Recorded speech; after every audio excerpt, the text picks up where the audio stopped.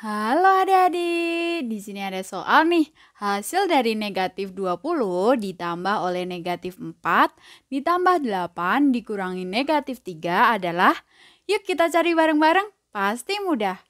Nah di sini kita harus ingat ya adik-adik, jika tandanya itu berbeda, semisal negatif dengan positif atau positif dengan negatif, maka menghasilkan tanda negatif.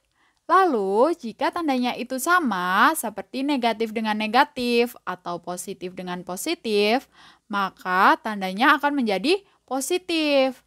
Yuk kita lihat pembahasannya. Jika seperti ini, nah di sini ada tanda positif bertemu dengan tanda negatif. Nah, positif bertemu negatif menghasilkan negatif, betul. Jadi yang ini ya adik-adik, maka menghasilkan negatif 20, lalu ini berubah tanda menjadi negatif atau menjadi pengurangan. Nah, jadi dikurangi 4.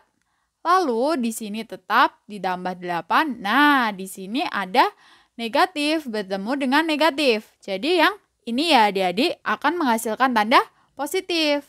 Nah, jadi di sini ditambah 8. Nah, lalu ini tadi menghasilkan positif atau ditambah 3. Lalu kita akan mengerjakan negatif 20 dikurangi oleh 4.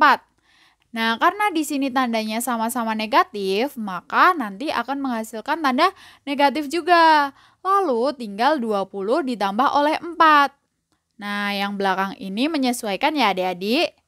Nah, 20 ditambah oleh 4 menghasilkan 0 ditambah 4, 4. Lalu 2 ditambah 0, 2. Maka menghasilkan 24. Lalu karena di sini ada tanda negatif, nah maka jawabannya akan menjadi negatif 24.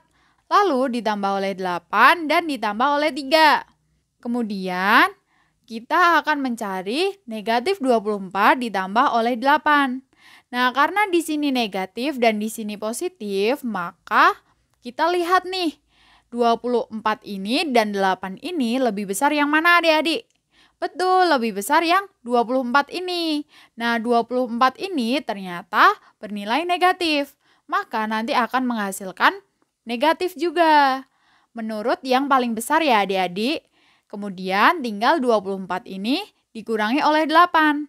Nah, 24 ini kita kurangkan 8 ya adik-adik. 4 dikurangi 8 tidak bisa. Kita ambil di sini 1 menjadi sisanya 1. Lalu di sini menjadi 14. 14 dikurangi 8, 6, betul. Lalu di sini sisanya adalah 1. Maka menghasilkan 16. Tapi karena di sini ada negatif, maka menghasilkan negatif 16. Lalu ditambah oleh sisanya ini adalah 3. Nah, kemudian negatif 16 ditambah 3. Karena di sini negatif dan di sini positif, maka kita lihat nih adik-adik. Angka 16 dan angka 3 ini besaran yang mana adik-adik? Betul, lebih besar yang 16 ini. Karena lebih besar yang 16 ini dan 16 ini merupakan bilangan negatif, maka nanti menghasilkan bilangan negatif juga. Menjadi seperti ini. Lalu tinggal 16 dikurangi oleh 3. Nah, 16 dikurangi oleh 3.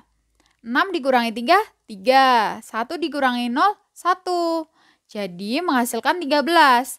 Tapi karena di sini ada negatif, maka menghasilkan negatif 13.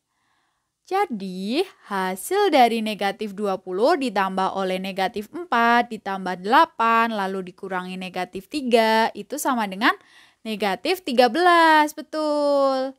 Mudah bukan? Yes, selesai sudah penjelasan kita hari ini. Semangat ya belajarnya.